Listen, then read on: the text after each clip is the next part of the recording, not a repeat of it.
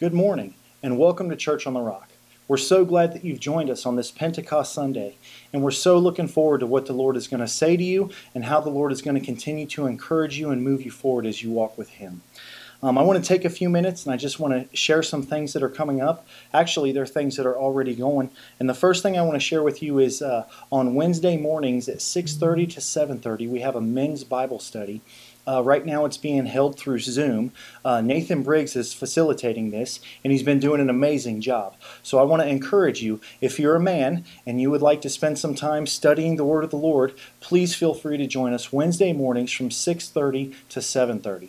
If you have any questions, please feel free to look Nathan up. He has all of the answers. And also, I would like to let you guys know that we're, we're we have begun person to person youth group. So if you have a youth that would like to encounter uh, the love of God, then please feel free to have them come and visit with us. These will be uh, these will be every Wednesday night starting at 6 p.m. Also, we are having person to person in services at the church. So if you feel comfortable, when you feel comfortable, and you really want to encounter and worship the Lord with us in person, coming together in unity, please feel free to come and join us.